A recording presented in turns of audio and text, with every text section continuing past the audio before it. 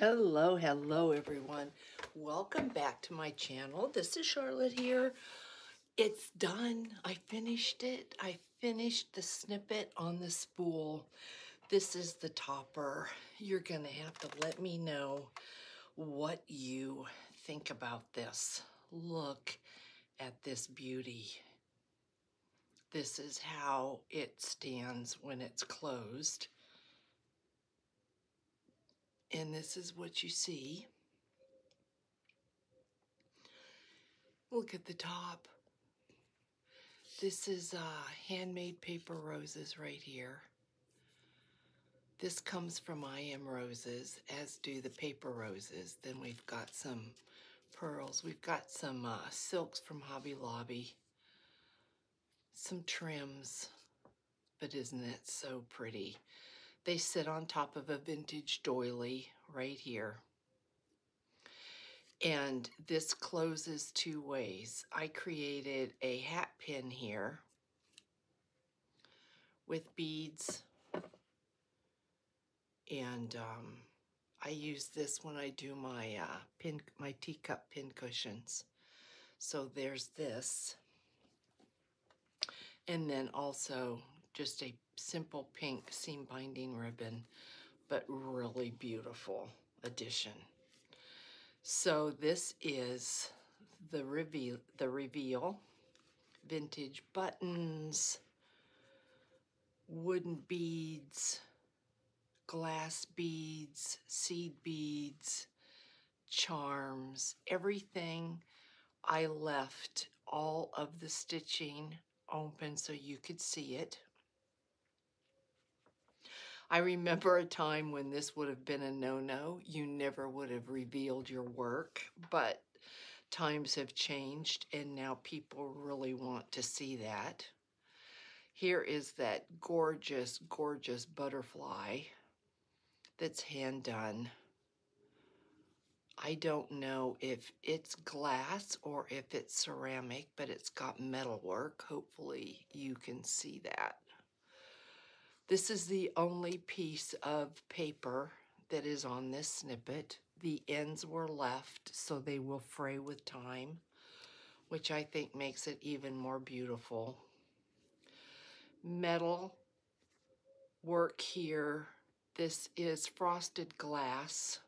It looks like beach glass. This is wooden. Vintage trims, laces, there's a bead charm here. I came back and I added a bunch of silver uh, seed beads because I wanted that brightness. Wooden bead here. Wooden bead here, and then I colored this flower. Just in case, if you were watching um, while I was working on this, then a lot of this you've already seen. Handmade bead here, glass bead, string of pearls, trim, another vintage button. A lot, a lot of time and a labor of love. A charm here, glass beads. This is a glass bead. These are all glass beads. Vintage, there are some new buttons in this. This is a charm, this is new, came from the craft store. This, or this button. This, um, charm, vintage, or not a vintage, but a wooden button, wooden butterfly. Here's a little um, sunflower charm. Glass, these are glass beads. Seed beads. And this is what it looks like. Here's a little charm elephant. This I think is uh, from Hobby Lobby. Don't remember where I got this. They're not vintage. And then of course I put an angel wing on the end and then there is the end. And what I did is I stitched a piece of matching fabric and I sewed this to that fabric piece. So once again, going back, abalone button, which of course is vintage. It's just something beautiful to sit on a shelf, to take down, to look at, to admire. Or it could be left sitting like this with it being unrolled and um, just looking ever so pretty.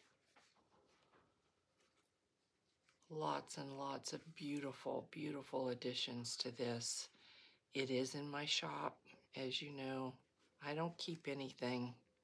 So, um, yeah, you can find it in the description box below. You have to be careful with this pin because um, you don't want to get stuck. I just stick it in there like that and then take take this ribbon and just tie it around. So I am thinking of doing another one of these. I want to do it in vintage.